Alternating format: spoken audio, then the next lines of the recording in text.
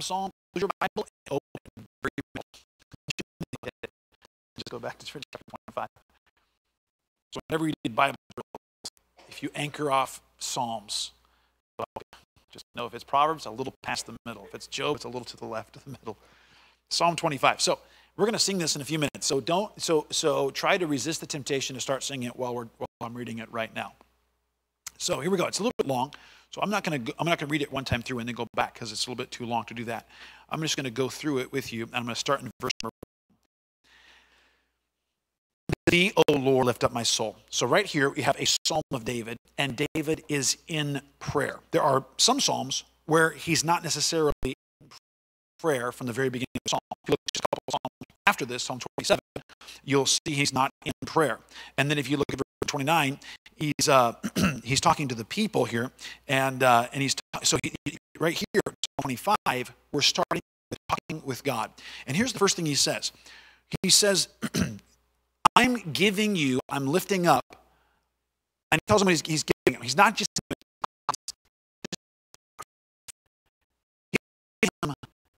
I'm giving you my soul. Who time, his soul is lifted up in the ways of God. At this moment, he cannot imagine not serving God. At this moment, he cannot understand why he ever sinned in the past, and he can't imagine why he would ever sin in the future. At this moment, you have a man who wants to praise God from a heart that is totally yearning to be right with God. So we've seen so many different kinds of psalm. We've seen a man who's in desperate need of help. We've seen someone who's angry, wanting wanting uh, God to come and and and, uh, and do judgment for him. But in this psalm, we have with God, and he's now going to open his heart and just going to praise the Lord and what it's like to be right with God. verse number two, it says, Oh my God, I trust in thee. And now he has this phrase, let me not be ashamed. So, uh, Dave, you're, you're in, the, in the bank, in the credit union, I'm sorry, the credit union. You're in that environment, brother, and uh, you're trying to be a Christian. And you know what you want God to do? You want God in the end to not make you ashamed that you are the Christian by how things turn out. Where in the end, everybody else does well in life and you live a horrible life. And everything goes bad for you and, and you lose. That's what he's saying here. Wouldn't it be really sad if, if, if we went to battle and our forces come together and we, we pray, we get our lives right, we're all, bless God, and we go to war and we lose? Wouldn't that be awful? We'd be ashamed, right? We lost. That happened. There was a time when the children of Israel were going to fight against the, the Philistines. They brought the ark. And the ark showed up. You know what everybody did? They did not shrug their shoulders. They didn't say, oh. no. They shouted, yeah! To them, it was an awesome idea. Yeah, we've got Jehovah on our side. It was such a loud shout that the Philistines on the other side both heard it and figured out, oh no, the ark is here. That same ark that divided the, the, the, uh, the Jordan River when they walked into it, the same ark that walked around the walls of Jericho, there, it's here. Now, what ends up happening is that their leaders say, hey, guys, play the man. Come on, get up. And they go fight against the Israelites with their ark and their God, and they whoop them. Pretty shameful. They take the ark. They keep the ark. So I guess I guess we don't have the, the mighty one. Well, they put the ark in the house of Dagon, their god. And when they come in the next morning, he's flat on his face. His head is off and his arms are off. So, I mean, it's, we're talking, actually, it was the second day. The first day, he's just falling down. They put him back up. Next day, he's falling down again, and his head is off. And his, so, our God is the real God. But they were ashamed. Now, if you understand the situation, Israel had, had uh, the, their, their, religious leaders, namely Hophni, Phinehas, and their dad Eli, had gone far away from God, and God was ready to judge them. And those two young men there's two priests, men, Hophni and Phinehas, both died in that, in that situation. But the point is, is that we could be the ones, we're going to God saying, God, please, please don't let us be the ones who cannot pay our rent. God, we're here at New Hope Baptist Church. Let us not be the ones that one day cannot have the electricity on. Let us not be the one that one day has to, to take down our website because we no longer have a church here. That would be shameful. Lord, let us not be ashamed. Let not mine enemies triumph over me. I can guarantee you there would be people, if we shut the church down right now, they'd be like, Yeah, I knew it. Yeah, yeah, I knew it. And we don't want that to happen. That's what he's saying. Lord, please don't let it happen. Yea, let none, verse 3, yet let none that wait on thee be ashamed. Let them be ashamed which transgress without cause. That's what his prayer is. Show me thy ways, O Lord. Teach me thy paths. Lead me in thy truth and teach me, for thou art the God of my salvation. On thee do I wait all the day. Remember, O Lord, thy tender mercies and thy loving kindnesses, for they are ever of old. Now, at this moment in his life, he has he's just longs to be closer to God, to know God at this instant. But at this instant, he has to know. He, he's not like he's just been this little goody two shoes all his life. He knows that in verse number uh, verse number seven. He, he knows that he has things in his past. Remember not the sins of my youth, nor my transgressions. According to thy mercy, remember thou me for thy goodness' sake, O Lord. Good and upright is the Lord. Therefore will he teach sinners in the way. The meek will he guide in his judgments, and the meek will he teach his way. All the paths of the Lord are mercy and truth unto such as keep his covenant and his testimonies. Now, we're going to go into what happens to the person who decides, I'm, I'm, I'm all in. Lord, I'm going to walk with you. I'm going to do your will. I don't want to mess around with sin. I want to be 100% given over to pleasing you. That's my whole heart. I just love you, Lord. What do you, what do you end up with? Now, he, before he gets there, he's going to say this. He's going to say, Even right now, Lord, I have things in my life that I need you to, to pardon. I need you to, to, Lord, the thing I did last week, Lord, the thing that I did last month, Lord, the thing that I've done recently, God, would you please pardon it? And if and he says, I want to be the one who keeps his covenant and his testimonies. Verse number 11, for thy name's sake, O Lord, pardon mine iniquity. What's the next four words? Verse 11, the last four of verse 11. What do you think that is? You know, he doesn't go into that. He doesn't tell us what his great thing is. Whatever it was, it was great. You know that you could have had great sin, I mean, a big time mess up, just recently and be back here. Now, he's just mentioned the sins of his youth. Now he's saying this the sins I have, for thy name's sake, pardon mine iniquity. The one, the stuff I have right now, the stuff that's still built up there. I've, I, I, I've dealt with the stuff in the past. Lord, would you please not remember that anymore? But Lord, I also have iniquity right now. Lord, you please pardon that iniquity? And I'll, t- I'll tell you, you could be right with God. Rephrase that. You could be not right with God when you walk in your just a few minutes ago. You could leave here tonight. Everything changed. I have had services where when I walk out, I cannot believe that I could not have been right with him when I walked in. Why was William Merrick was so nasty when he walked in this building. And now as I look and just, God, how do you even have mercy on me once again?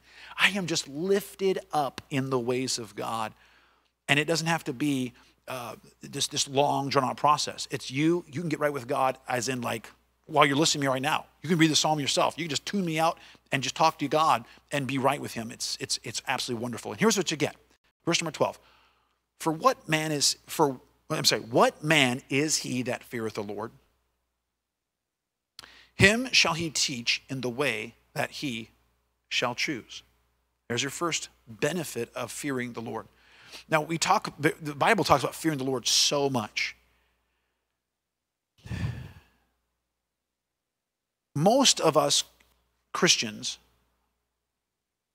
don't have a real intense fear of God we don't really have a sense of dread that God is watching what I'm doing, and if I do wrong, there's going to be recompense.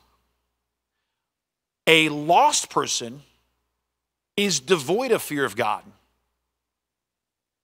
That's why he's not coming to God. In fact, the very, very first step of someone coming to Christ is to realize there is a God and I'm not right with him. That I have sinned and that he has watched, and there is judgment coming. The Bible says that he sent the Holy Spirit to convince the world of sin, of righteousness, and of judgment. That's what he does when he comes and dings our heart, says, Judgment is coming, pal. And if I ever recognize that and realize, oh no, then it changes things. I can, I can just tell you, my teacher in high school, he wore this thing of keys on his, on his belt the entire time. And he would step out for a few minutes and you could listen to the keys go away. By the time we started earshot, we were already talking, you know, it starts real quiet, you know. It's just the first person says something and the next person responds, and then there's a snicker, and then somebody else says something, and then there's, there's absolute laughter. But when the sound of those keys came back to our ears, instant silence. Because he had the ability to inflict punishment on us that he was willing to employ. And we had a certain reverence and fear of our teacher. And when we did not believe that he could know what we were doing, we didn't mind doing things that if he were present, we would not dare do. So, what would happen if he never left our classroom? We would stay employed incessantly in our school, or at least pretending to be. Right? So, what happens if I believe that God Almighty hates sin and is a God of justice and therefore judgment? What if I believed that? That I would fear him. And what would happen if I feared him? Here's what would happen. Here's what happened. Number one, verse 12. He, him shall he teach in the way that he shall choose. And I'll tell you what happens to any person who begins to fear God, he gets smarter in actual wisdom. I can tell you right now, I'm, I'm, i can tell you right that the young person who just a couple years before uh, had, a, had a bad spirit and, and was just kind of just doing dumb stuff, just, just getting right with God, it doesn't take very long before they just have a certain sense of wisdom about them that makes them, people want to be around them. Number two, look at verse number 13. His soul shall dwell at what? Isn't that interesting? When you fear God, your soul can dwell at ease. You know, it's amazing when you, you have to get things done because the person that you fear retribution from is there, and so you get it all done, and then it's finished. And that thing is no longer weighing on you, whatever that would be. It's just something about doing everything you're supposed to do that makes you go, ah, and you end up being at ease. That's number two. Number three, verse number uh, 13. And his seed shall inherit the earth. What does his seed mean? Means his kids and his kids' kids and his kids' kids. They're going to inherit the earth. Wow. You, you, I'll tell you, if you go back and look at the guy Jonathan Edwards, who preached one sermon in the 1600s called this, in, the, in New England, he preached a sermon, Sinners in the Hands of an Angry God. He preached that sermon. That was the title. Isn't that an amazing title? It was, he described us as sinners hanging by a spiderweb's thread over hell. And while he was preaching that, you know how his style was? What I've heard, I, have read this, that he read that. It was, he was a, a, a, Puritan preacher. He was not super dynamic. He didn't run on the platform. He didn't yell. He didn't do that stuff. He simply read it from his notes, just read verbatim. He had it all written out. Before he was done, there were people holding on to the pillars that supported the roof of that church for fear that they would fall into hell that instant. And it began what was now called the Great Awakening. From that sermon began to spread, and the Great Awakening transformed this nascent country. But if you look at it, there's, a, there's interesting research been done on his family. And as you look at what happened to the Edwards family in subsequent generations, there is a long list of eminent individuals. Of course, there were pastors, there were college presidents, there were judges. Eventually, there were, there, uh, uh, there were major leaders as America actually became a nation that were direct descendants from Jonathan Edwards. You'll see that happen over and over again, where those who fear God, their children seem to do well. then those children, of course, oftentimes leave those roots, and then their family, with their offspring, go in a, in a worse direction. But there is a blessing that God somehow put, the way He's crafted the universe to run, there is a blessing that passes from someone who fears Him to their next generation. It's just awesome. And you can have that. Just keep going. Verse 14. Here's the next one. Ready? The secret of the Lord is with them that fear him. We all, we all like secrets, right? You and me were talking recently about that. The thing that makes life worth living is mystery. I'm, I'm real big on this. I think it's, you know why? Because it's a secret I figured out. you, know what you love about everything in your life? If you love it, it's because there's something you haven't figured out yet. There's secrets you're, you're unlocking about something. That's why you want to travel. That's why you bought the new book and read it. That's why, if you got into a book recently, that's why you did it. You know why you want to play that video game? Because there's things you haven't figured out yet. There's whole corners of the world you haven't figured out yet. You know why you switch games? Because you've kind of conquered the game. You, you know it. You know all the secret moves. You've got it down. You want a new thing to conquer, right? Am I right? So life is what makes life so wonderful is finding out little secrets. Do you know there's a reason why God has never allowed a human being to come in full visual contact with who he is. And the reason is, is because he wants to leave evermore for you and me to explore. There's, you'll never come to the end ever you figured out God because he's too deep, he's too mysterious, he's too great, and he made it that way on purpose to make your life seeking him an endless, wonderful journey of uncovering new uh, facets and ideas and deepness to who God is. And that's awesome. Who gets to know that? You will have people, I know them, who will go to university and study religion, religious philosophy, comparative religions, and they have no faith. They don't believe in it, but they think it's interesting to learn about religions and stuff like that. Do you know what makes Bruce interesting? You can do without the Holy Spirit of God. It's very straightforward. But you have someone who the Holy Spirit begins to reveal God to. There is endless secrets that you have the door open to, that little window that you get to see in.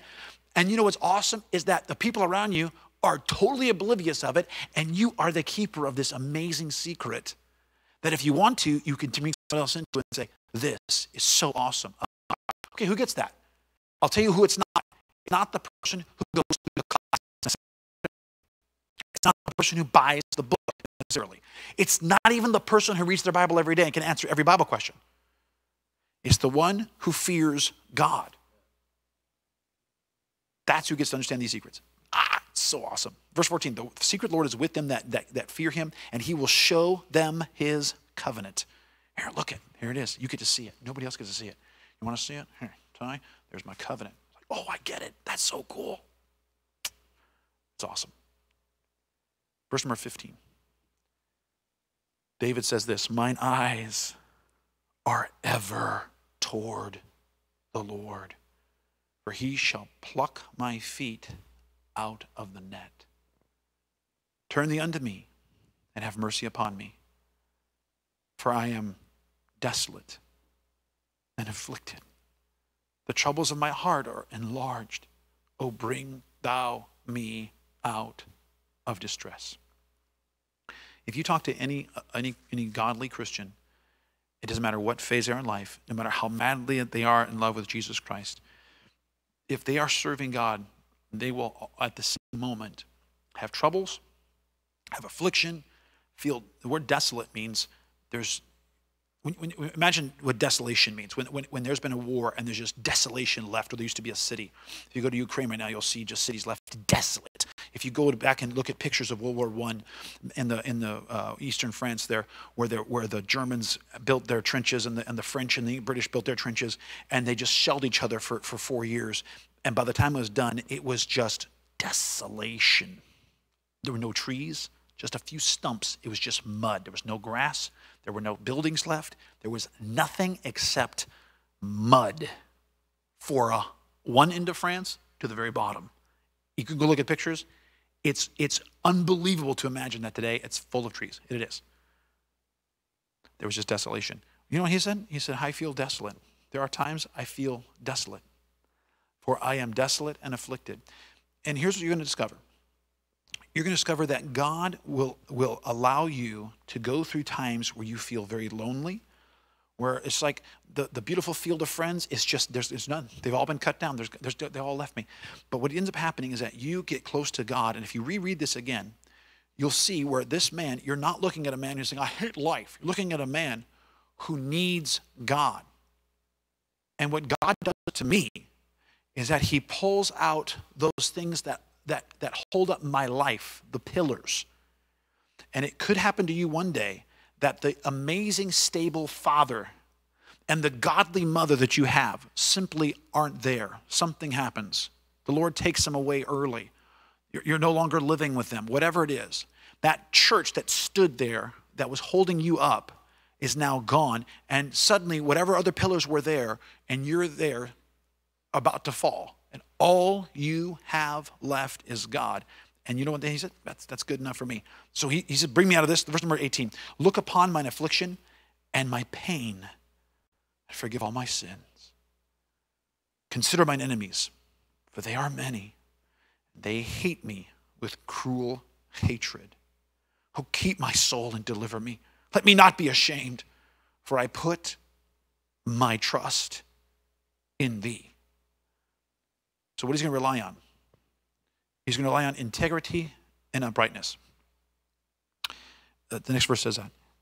Uh, I've told, uh, in, in, in, Sunday, I've told the story of, about the, the, the, man I met um, recently. I, if you ask me at church, I'll show you this picture. I showed a couple of you guys.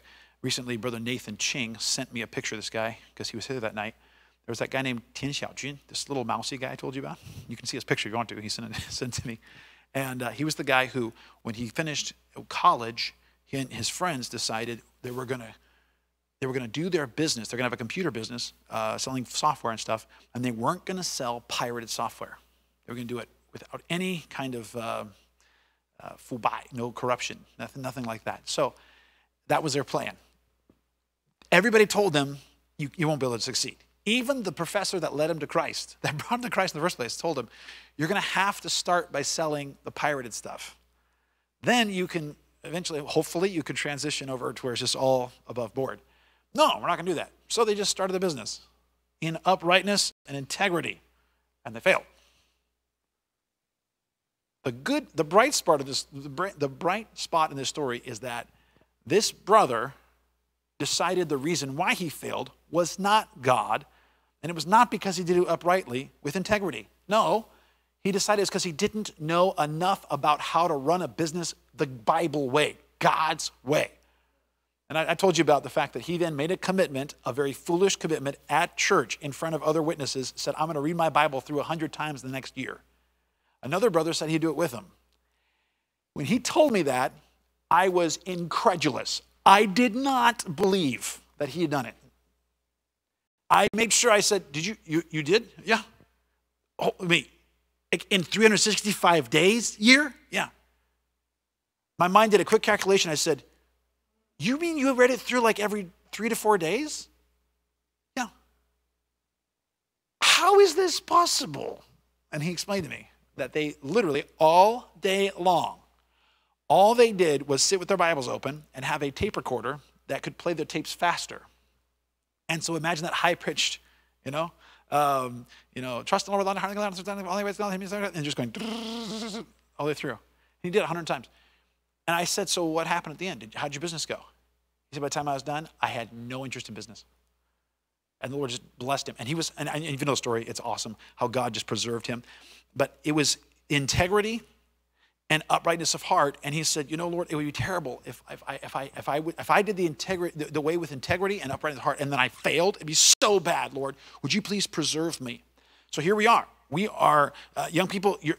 Hopefully, you understand a little bit, but your parents are going to be going through the next few months, next maybe a couple years, I don't know, where things are going to be hard you're going to have a hard time. Your parents, your dads, those of you who have businesses, I think about your, I was talking about your dad just a few hours ago with another brother. Uh, your dad works so hard. He's got his little business and it's just it's so awesome. But you know, as people don't have as much to spend and it, borrowing money becomes harder, now they're going to to be able to, to, to, hire somebody to come in and do some work on, on their property. So what's going to happen?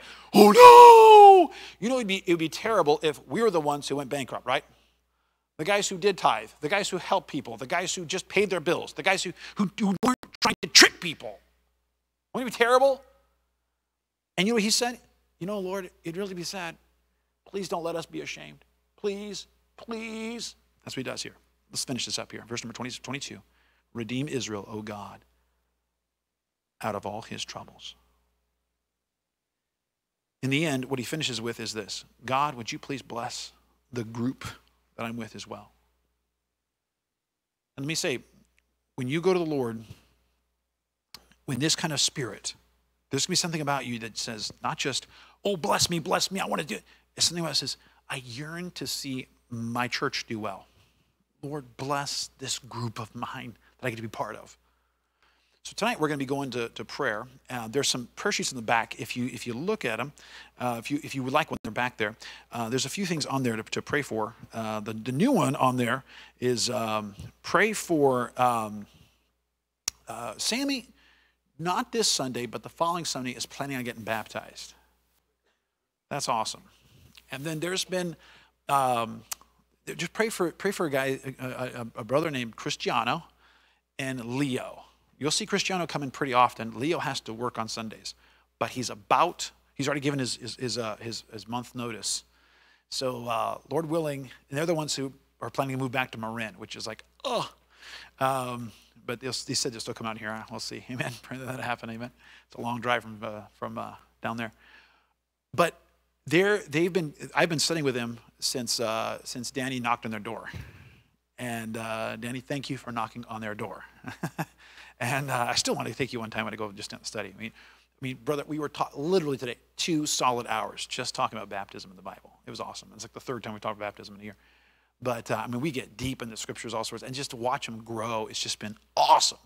And so, um, so they, they, they are looking forward to get baptized. And today we put two and two together and realized, hey, you're finishing your work. You can come on Sundays, right at the week, two weeks before Easter. That will mark the one year anniversary of you coming to New Hope Baptist Church after that guy knocked on your door. And guess what? They might get baptized on that day. Would you pray about that?